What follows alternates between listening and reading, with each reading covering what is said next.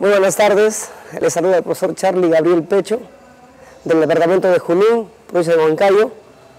En esta oportunidad tengo el privilegio de, venir y, dar a conocer, transmitir la danza emblemática, una de las danzas más, más pronunciadas, más, más cautivadoras de esta gran festividad que se da en honor a la Virgencita de Cocharcas, Negrería Garibaldi de Zapayanga. Y, terminamos con el clásico Simancha, que es este, el punto donde el remate, como es conocido allá en, nuestra tierra, es la parte más, más jocosa, más alegre de la danza.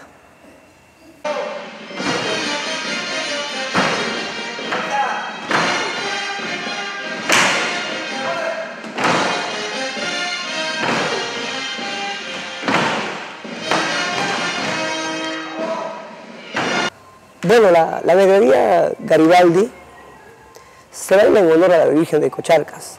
Los Garibaldis nos, remontan a la, época, hay, una versión donde Garibaldi, un Garibaldi llega aquí este, al, sitio de Zapayanga y funda una hacienda en el, centro poblado de Miuchaca.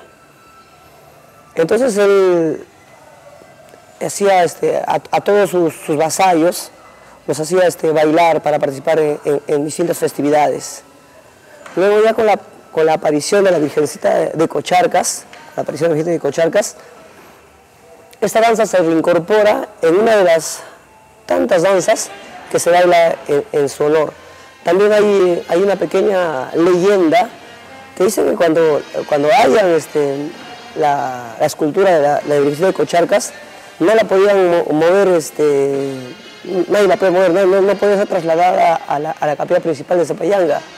Entonces, uno, de, los mitos es de que la Virgen de Cocharcas se impregna en la esclavina de, la negrería y es así al compás, al compás este, de, esta hermosísima danza, recién es trasladada a, la, iglesia de San Pedro, allá en Zapayanga.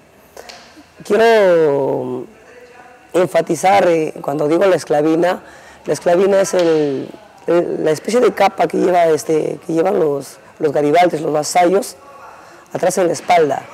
Ah, mucho, antiguamente, eh, las figuras que se representaban en esta esclavina eran de, héroes, este, de personas este, que, habían tenido una participación emblemática en nuestro Perú, tales como San Martín, Fosugarte.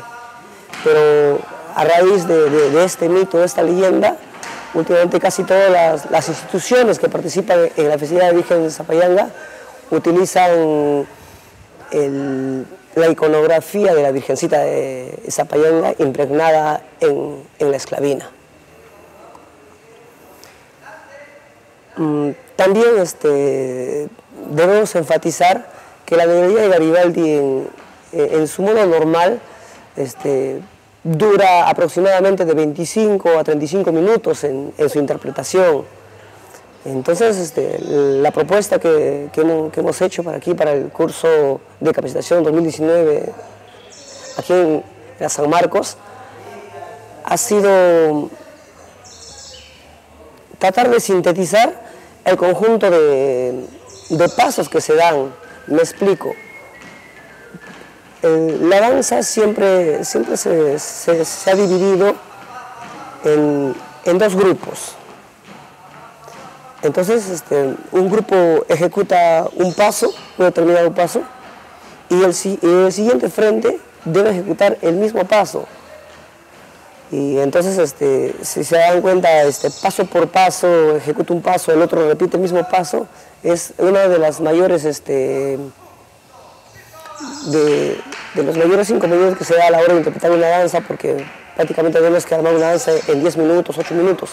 Por ello, lo que se ha realizado en esta propuesta es el primer grupo frontal ejecuta un paso, el segundo grupo ejecuta el siguiente paso y todos los pasos están dados de acuerdo al orden cronológico donde, eh, que se realizan las danzas y representan objetos que se hagan alrededor. Por ejemplo, eh, eh, en, esta presentación estamos este, estamos representando la marcha, que es, el inicio de la danza. Seguidamente estamos representando la procesión. Hacemos este, el sol, las estrellas, cadena, la corona de la Virgen y